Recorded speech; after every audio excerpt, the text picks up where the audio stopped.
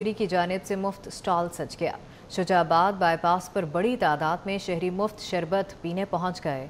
बच्चों, बुज़ुर्गों और ख़वातीन ने मज़ेदार शरबत पीकर खूब लुत्फ उठाया।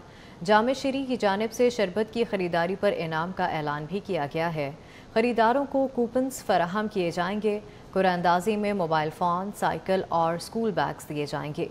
शहरीों का कहना है कि अट्ठाईस साल से जाम शरी का जायका और मैार बरकरार है।